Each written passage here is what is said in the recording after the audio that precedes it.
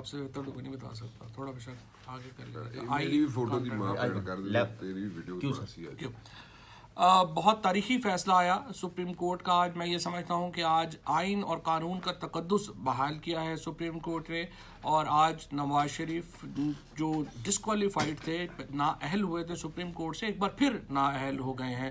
اور مسلم لیگ نون کی قیادت کو چاہیے کہ وہ اس فیصلے کو تسلیم کرے اور آئین اور قانون کو تسلیم کر کے آگے بڑھے۔ اگر آپ آئین اور قانون کو تسلیم نہیں کریں گے تو پھر انارکی ہوگی۔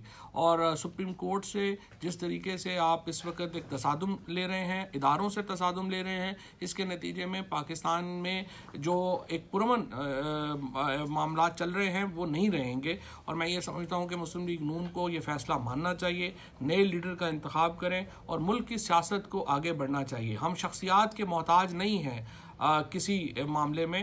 اور نواز شریف کے بعد بھی اور بھی بہت لوگ ہیں، ان کو اوپر بھروسہ کریں اور معاملات آگے چلائیں۔ آپ کا کسی ایک شخص کی کرپشن بچانے کے لیے پوری پارٹی کو اور پورے ملک کو دو پر نہیں لگایا جا سکتا۔